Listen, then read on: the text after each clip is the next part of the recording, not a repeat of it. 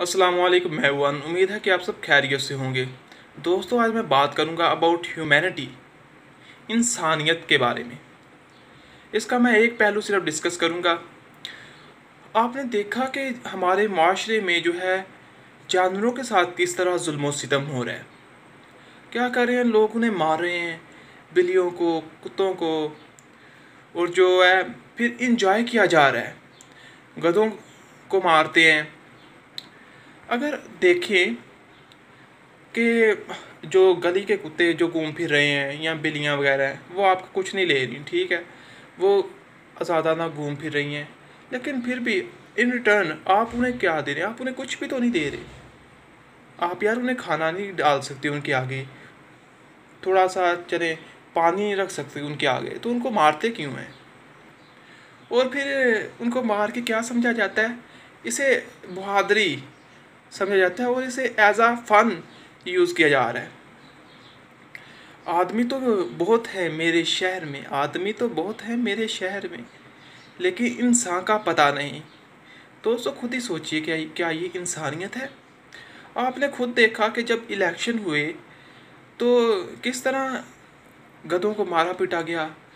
कोई झंडा उसके ऊपर लगा दिया गया किसी पार्टी का, कोई टैग लगा दिया गया कि ये इस पार्टी का निशान है और उसको हमने मारना, पीट रहे हैं। और ना सिर्फ़ बच्चे, बल्कि बड़े भी इस काम में इन्वॉल्व रहे और अब भी इन्वॉल्व हैं। और हमें इसके बारे में जो है, आगाही फैलानी चाहिए और हमें यार खुद हमारा जो ज़मीर है, वो हमें खुद झंझोड़ता है। If I am doing something wrong तो अंदर से आवाज़ आती है कि यार ये गलत है। You should do something right ऐसा नहीं करना चाहिए तुम्हें। वो अलग बात है कि हम अपने ज़मीर की आवाज़ को दबा देते हैं। ज़रा हमें खुद इन चीज़ों के बारे में सोचना चाहिए कि हम आखिर किधर को जा रहे हैं। ज़रा मोबाइल को दो मिनट साइड पे रखा करें और सोचा करें अपने बारे में कि आखिर हम इंसान हैं। इंसान कहलाने के हकदार हैं। क्या हम इंसानियत की सतह से नीचे तो नहीं गिर रहे? क्या हम जानवरों से बदतर तो नहीं होते चले जा रहे? ये सारी चीज़ें हमें सीखनी चाहिए।